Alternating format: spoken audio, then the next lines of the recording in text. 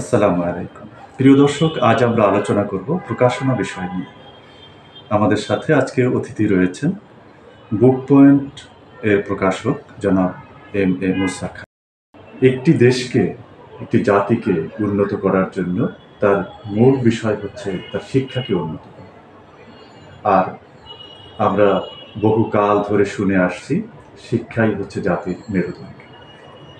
মেরুদণ্ডহীন মানুষ যেভাবে উঠে দাঁড়াতে পারে না, ঠিক তেমনিভাবে শিক্ষাবিহীন একটি জাতীয় বিশ্বের দরবারে মাথা উঁচু করে দাঁড়াতে পারে না। বাংলাদেশে শিক্ষা ব্যবস্থাকে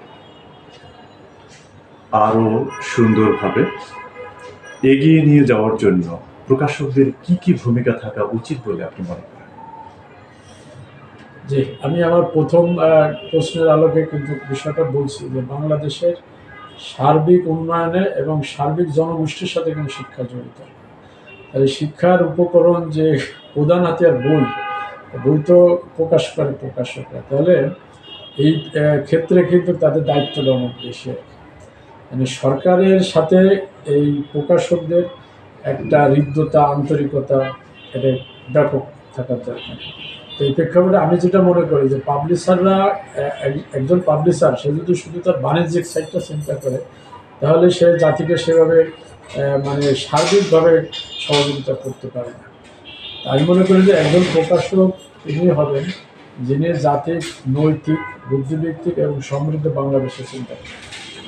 এই চিন্তাটা যদি পাবলিশারের ভিতরে থাকে, তখন বই পাবলিশের সময়, প্রকাশকের সময়, সে ওই বিষয়গুলো সামনে নিয়ে আসে আর কি। তা এখন এই জায়গায় যে কাজটা রয়ে গেছে, একজন প্রকাশকের অনেক সেক্টরের সাথে জড়িত। বিশেষ করে বাংলাদেশে এরকম আর কোনো বিভাগ নেই যে এতগুলো মন্ত্রণালয়ের সাথে। আপনাকে অবহিত করতে চাই যে শিক্ষা মন্ত্রণালয়ই না শুধু, এর সাথে আপনার সংস্কৃতি মন্ত্রণালয়, এই পাবলিশারদের সাথে কাজ আছে, সেখান থেকে দায়িত্ব আছে। তথ্য মন্ত্রণালয়, এই যে ইসলামী ফাউন্ডেশনে যে বইমেলা চলছে, আপনি দেখেন, এই ইসলামী ফাউন্ডেশন অর্থাৎ ধর্ম মন্ত্রণালয় তারা বিজ্ঞান, প্রযুক্তি, মন্ত্রণালয় এরকম যে এদের অধীনে আবার অনেকগুলো অধিদপ্তর আছে। এই জায়গাগুলো কিন্তু প্রকাশকদের কাজ রয়ে গেছে। এই কাজটা একজন প্রকাশে এককভাবে সম্ভব। এর জন্য সম্মিলিত প্রয়াস যেমন দরকার, পাশাপাশি সরকারেরও এই জায়গাগুলো পাবলিশারদেরকে সংশ্লিষ্ট আনার দরকার। কারণ পাবলিশাররা একদিকে সরকারের শিক্ষা বিষয়গুলো উপকরণ সাপোর্ট দেয়, পাশাপাশি এদেশে কিন্তু একেবারে তৃণমূলের শিক্ষার্থীদের অভিভাবক শিক্ষকদের সাথে তাদের একটা সংযোগ হয়ে গেছে। অর্থাৎ প্রকৃত শিক্ষার কি সমস্যাগুলো? এই সমস্যাগুলো কিন্তু একজন ইসে মানে অন্য অন্য শিক্ষা বিভাগের চেয়ে একজন পাবলিশারের কাছে কিন্তু বেশি ধরা পড়ে। তার কারণ যে তৃণমূলের অনেক সমস্যাগুলো চিহ্নিত হয়। এই জন্য পাবলিশারদের যে কাজটা এখানে গুরুত্বপূর্ণ, সেটা হচ্ছে মানসম্মত বই পাবলিশ করার ব্যাপারে এক নম্বর কাজটা হতে পারে। যে জাতিকে একটা বইয়ের উপরে নির্ভর করে, একটা চিন্তার উপরে নির্ভর করে যে একটা জাতি কীভাবে গঠিত হবে। বই বলতে মানে সার্বিক বই, একটা বই, সার্বিক বই।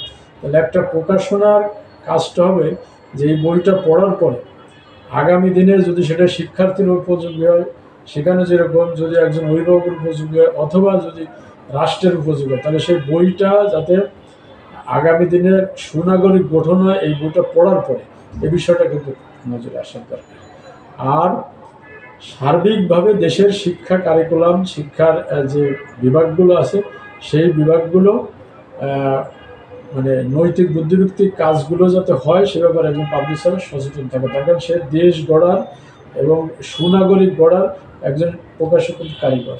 একজন লেখক যেমন লেখা দিয়ে কারিগর, একজন পাবলিশার আছে, সে এই বইটাকে একেবারে এদেশের শিক্ষার্থীর থেকে শুরু করে দেশের সকল পর্যায়ে নাগরিক কাছে পৌঁছে দেয় অর্থাৎ সেই প্রোডাক্টটা যাতে মানসম্মত এই ব্যাপারে প্রকাশন ভূমিকা